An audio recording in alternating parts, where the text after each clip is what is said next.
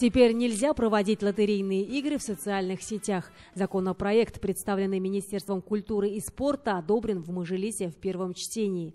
Даже в различных рекламах слово «лотерея» может использовать только национальный оператор. Теперь для проведения розыгрыша необходимо получить разрешение национального оператора, с которым необходимо заключить договор. В законе отражен весь механизм организации подобного рода игр. Все ключевые обязанности тиражных комиссий надо прописать в законе. Надо детально расписать вопросы формирования деятельности этих тиражных комиссий, которые и подтверждают результаты розыгрыша призового фонда.